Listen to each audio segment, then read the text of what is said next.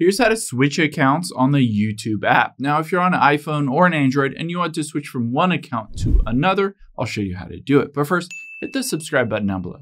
It really helps me out. Thanks, guys. Now let's open up the YouTube app here. And if you already have a channel or another account, you can do that as well as creating a new one.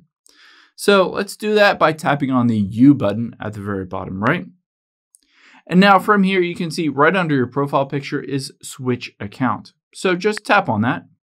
And if you're already logged in, you can see all of the other accounts here and you can easily switch to the other one.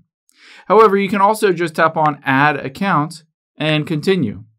Now, all you need to do is log in using your Gmail account to the other account.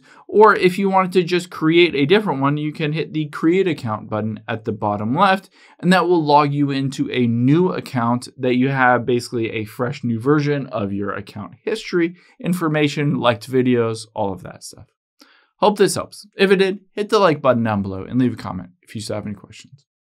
Thanks, guys.